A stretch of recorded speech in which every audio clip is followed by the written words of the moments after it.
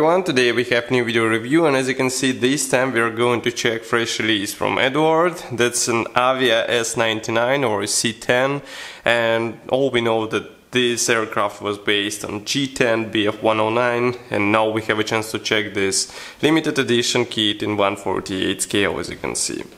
And first let me remind you that we are given money for the new camera, you can help us too by pressing the donate button on our website.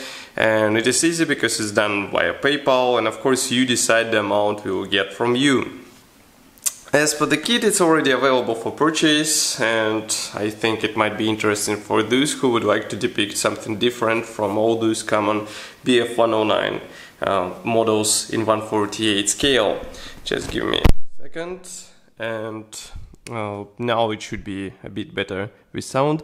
Anyway, uh, this kit is already available for purchase as I said before, price is set at 35 euros, which is quite reasonable level for 148 scale with all goodies inside, and now we have a chance to check it closer. First, I have to mention that this is a typical Eduard box, here you can see comparison with my hand, we have this nice box art on the front, then on the side we have four marking options shown which are included into this kit. And as you can see uh, those are airplanes which were flying. For example this one was in Plana Air Base České Budějovice.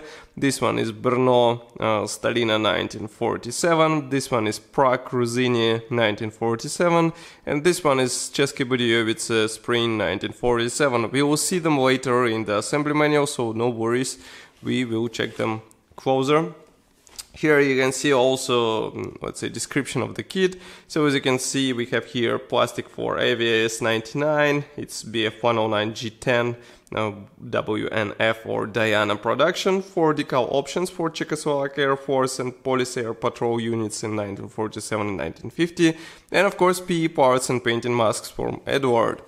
That's the top opening box, so just give me a second to open it and here is what we have inside. So as you can see there is plenty of space inside and I think it won't be a problem to get all parts intact. Of course nobody stops you from checking all those parts before purchase. Um, I mean it's not difficult to do especially if your shop lets you to open the box of this kit. So we are going to start with the top plastic bag. Here we have several plastic sprues, including the transparent one. Actually, it is good that transparent one is packed into the you know, big plastic bag so that it doesn't fly around the box. As you can see, it is packed into the separate plastic bag as well, in order to avoid possible scratches with which can be achieved with other gray plastic parts. Now I'm going to remove this plastic sprue and we will check further or closer what is molded here.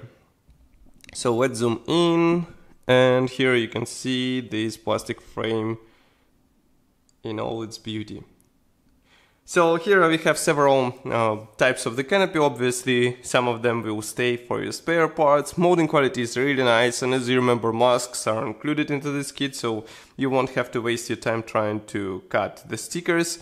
Moreover, as you can see we will be able to you know, replicate open canopy on your aircraft so it's also quite a nice feature and overall I like the molding quality which is already typical for modern Eduard kits.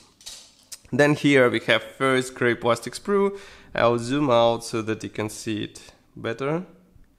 So here it is.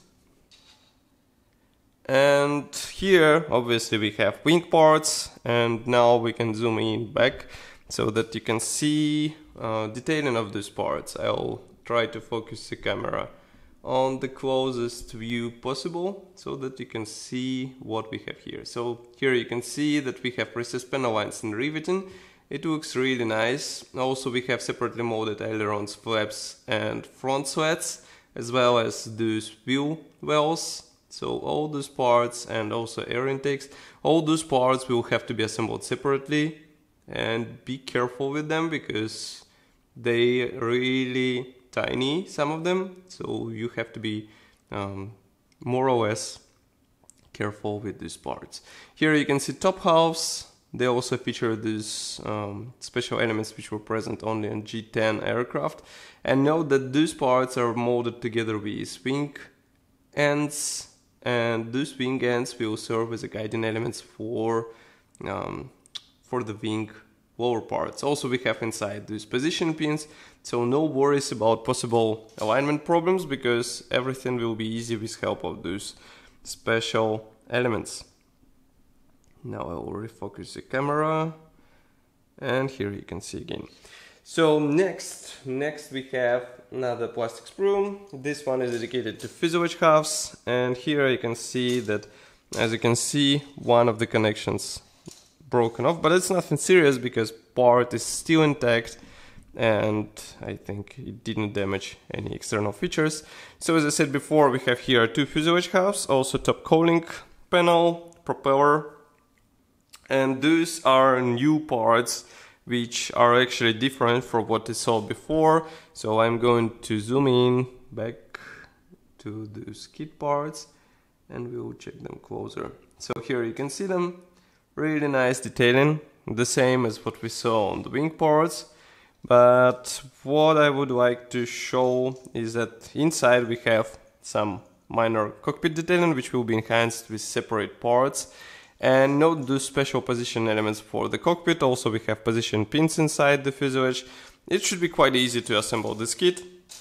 I assembled G6 as you remember. You can find build review on our um, website and YouTube channel and I have to say that it's really nice and easy kit to assemble and you won't have to modify any of the standard parts in order to get them fit into the place.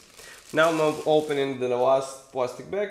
This one is dedicated to various uh, minor elements. As you can see, these are two huge frames. Here is the first one.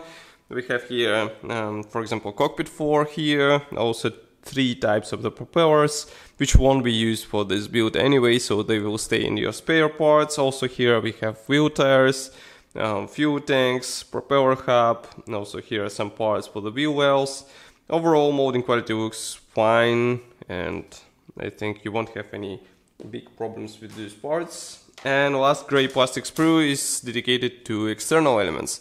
So here we have for example tail wings, which should be assembled out of two halves.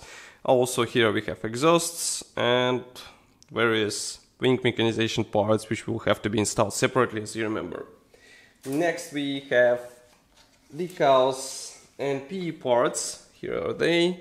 Let's check first the PE fret, which is color printed. And I will try to get the maximum zoom. And now we focus on the P fret. So here it is. As you can see, we have here not only the cockpit elements, but also some external parts, so your model will be quite detailed after you install all those minor elements.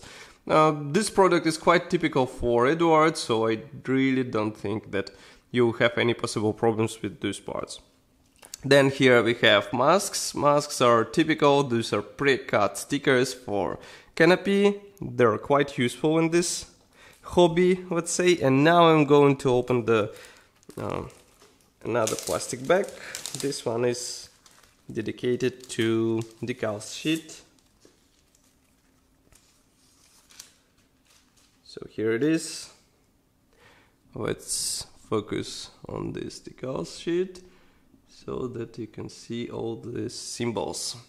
Printing quality is really nice as far as I can see it is printed in Eduard itself. I'll zoom out so that you can see whole decal sheet.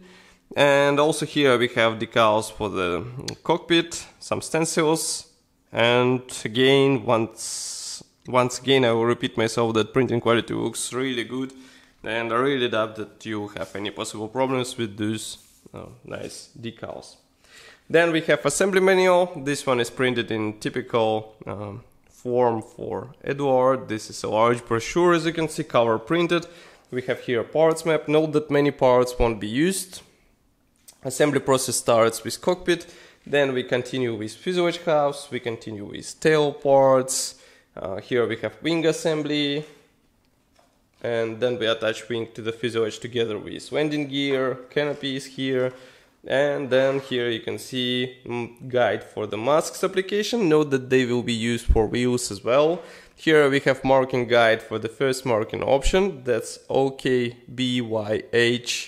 um, which was used for police patrol unit in Czechoslovak Police Air Force in 1947 and 1950. Then here we have um, that's uh, EV-11, which was based in Plana Air Base České Budějovice. This one comes from Prague Ruzyně in 1947. And here we have another airplane from České Budějovice 1947. As you can see, it has this EV14 designation. Here we have also stenciling guide and of course related products for Avia S99 C10. As you can see, of course you will be able to use cockpit and other parts for BF109 G10 because that's basically the same aircraft. So that's all for this video review. I hope you enjoyed it. As usual, if you like um, to discuss uh, this kit, write in the comments below. Um, if you want to help us and you would like to not to miss any new video reviews, press the like button and subscribe to our YouTube channel. And I will see you in the next video review as usual. Bye.